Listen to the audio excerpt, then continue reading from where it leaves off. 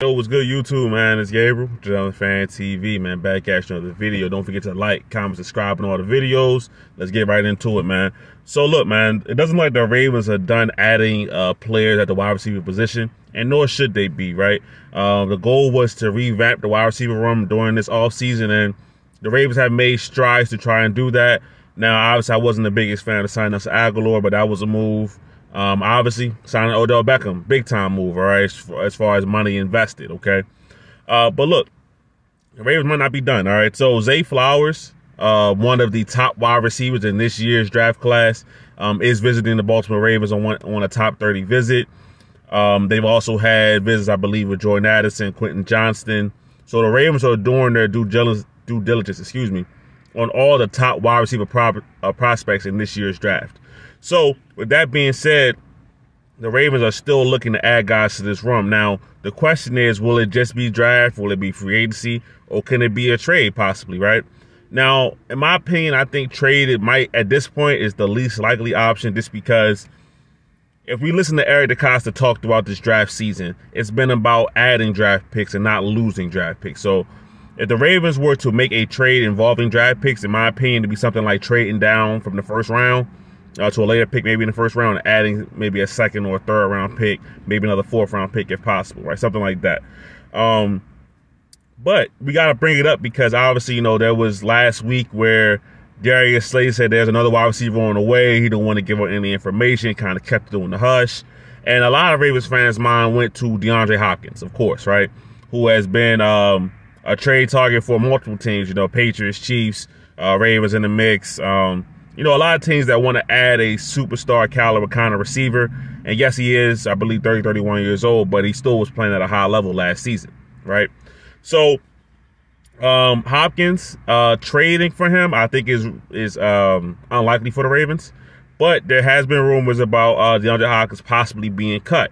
Now, if he was somebody to be cut, um, I can see the Ravens being all over that. Because just, uh, yesterday, I believe Hopkins put out that tweet about, how he doesn't want a pay raise, right? He's pretty, he was quoting himself pretty much, right? So if he doesn't want a pay raise, and say a team doesn't want to trade for a salary, and the Cardinals say, "Look, we don't get nothing for him. We're just going to release the guy," um, that means that he might be willing to take less money to be on a championship caliber team.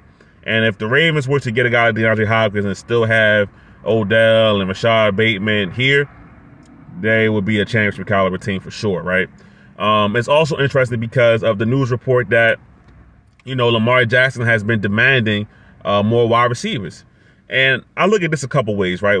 The first way is I think that's a good thing, right? Because it's a negotiation tactic. So if he's doing something to negotiate with the Ravens, that's always a good sign, right? Say, you get me this, this, that will help in our negotiations. To me, that's a good sign because that means that he's willing to participate in negotiations, which is something that the media has said he hasn't been willing to do, right?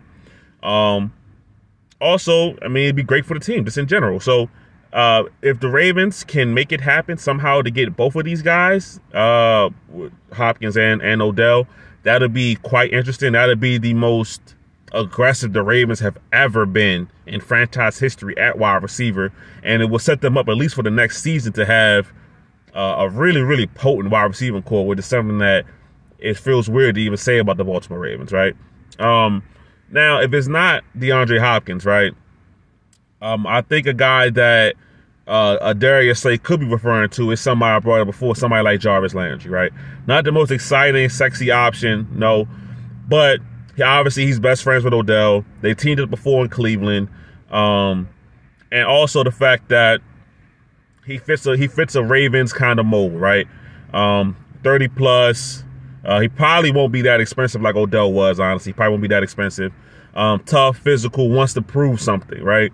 The Ravens are always looking for guys, especially the wide receiver position, that want to prove something, right? Hey, they feel like they've been doubted, so let me go here and see if I can prove that I still got it, right? Now, for better or for worse, um, there's been good examples of that working for the Ravens. There's been bad examples of that going against the Ravens, right? So, I like Jarvis Landry. Um, I wouldn't be opposed to it. You know, I, I think that he is a solid veteran. Okay. But if I had to give my opinion about what I think is the most likely or what I would want to happen, um, I'm kind of looking at the draft, if I'm being quite honest. Um, now, listen, if DeAndre Hopkins gets cut, and is made available that way, and the Ravens can get a deal for him done, I'm all for it. I have not, I have no problems with that. I have nothing against that. I just don't see the Ravens trading draft capital away to get DeAndre Hopkins. That's my thing, right? Um, just is just because, like I said, Eric DeCosta has been multiple times saying that I want to add picks. You know, we only got five draft picks. That's not unusual for us. You know, he almost sounds like a guy who feels like he's going into the draft un- undermanned. You know, like he doesn't have enough firepower to really do what he wants to do, right? This is the same guy who had all had 11 draft picks last year, took 11 players. All right, so of course he's going to want some more draft picks. I mean, we just got to be completely honest about that. So when I look at the draft in the first round for the Ravens, um, the guy that they have visiting, uh, Zay Flowers, is a guy that really intrigues me because if you were to have a Zay Flowers, Odell, and Rashod Bateman, that would give you three guys with inside outside versatility who can work anywhere uh, on, on, the field. And also, Zay Flowers has something that the Ravens don't currently have, right? A guy that can make five into 40. You know what I'm saying? Now, listen, we saw Rashod Bateman take that slant route uh, versus the Dolphins and go, you know, what was 75, 80 yards. And that was great. Uh, saw him out run out Xavier Howard. I like that. Um, he can. I think Rashod Bateman has the ability to make like the first guy miss, right? So I, I you know, I'm not going to take anything from him on that aspect. But Zay Flowers is the kind of guy who can make two, three guys miss. Um, take that drag route, make it 20, 25 yards, and now it's a it's a big play. So the Ravens haven't had that kind of guy in in quite a while, honestly. Uh, I, I, I can't remember the, the, last shifty receiver, maybe like a Jacoby Jones, maybe somebody like that. Um, but yeah, so he will be the guy that I'm looking at. Um, I think to me, he is my my favorite wide receiver in this draft and the most realistic one because a guy like say Jaxon Smith-Njigba, right? Um, I think his stock is only rising. I mean, I think he's going to be gone well before the Ravens have a chance to pick at uh, 22. So while I would love to have JSN on the team, I just don't feel as though that's a likely option. I don't. Um, I like Jordan Addison. Uh, Quentin Johnston, I'm I'm um, I'm iffy on. I'm not a super big fan of guys like that where you gotta teach them not to body catch so much because that comes with issues. So um, he's not Breshad Perriman, but just being a Ravens fan and seeing Quentin Johnston, it gives me that Breshad Perriman kind of vibe, and that's maybe that's probably not fair to him. Um, probably not fair to him at all, but that's just the kind of vibe I, I get off of that. So, um, but yeah, I think Zay Flowers would be a great addition um, through the draft. But obviously, option number one is that if the Ravens can, if DeAndre Hopkins is some somehow, some reason cut by the Arizona Cardinals, the Ravens have to be making play for him, right? Like I said, now the report was out there about Lamar Jackson demanding um, Odell and Hopkins, and then I'll come to the table and we could talk, right? Um, the Ravens did their first part of that. They got Odell Beckham out there. So um, if they get Hopkins too, man, it's going to be very, very scary next season because um, like Lamar said, he wants to win Super Bowl, right? So they get Hopkins and Odell. I think he comes back. Now, maybe right or wrong, maybe that's probably not the best decision for him personally. Uh, I think the Ravens need to do a lot to bump up that number because 32 million is far too cheap for what he should be making. Um, but you know, he's looking at that roster and say, "Hey, look, we got this guy, that guy out there. These the kind of guys I want on my team." So, yeah, maybe I do come back, right? Um, but that's another story for another day. Uh, so look, man, uh, for the Ravens, it looks like they're uh, intent on adding another wide receiver, steadfast in that kind of mission. And I would say for the first time, I'm actually proud of how they're attacking the wide receiver room. They're not just saying that we're going to get guys off the scrap heap who, you know, can maybe get two, three hundred yards, maybe four hundred yards if it's a good year. We're getting guys that have real potential to explode in the offense.